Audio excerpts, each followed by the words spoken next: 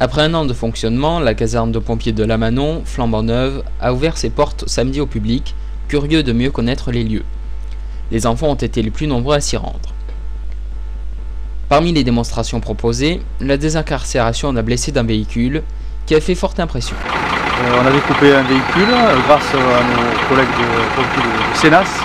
On a sorti une victime qui était soi-disant incarcérée. Tout ça, évidemment, c'est de la science-fiction, mais bon, euh, à en voir les sourires des gamins, ça, je pense que ça a bien plu.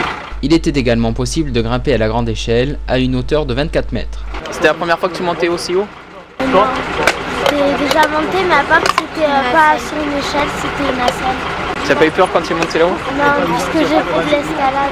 Au final, cette journée aura été peut-être l'occasion de susciter des vocations chez les jeunes visiteurs. Les pompiers, c'est un métier qui t'attire Un peu. Tu aimerais faire ton métier C'est bien, c'est bien de Non Qu'est-ce que tu aimerais faire Humoriste. Humoriste.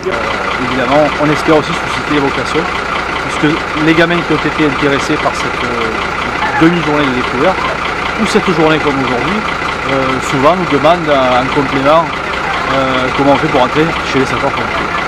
D'accord. Ce à quoi on répond avec beaucoup de plaisir, puisque c'est un métier, même si l'on est volontaire, qu'il faut faire avec passion.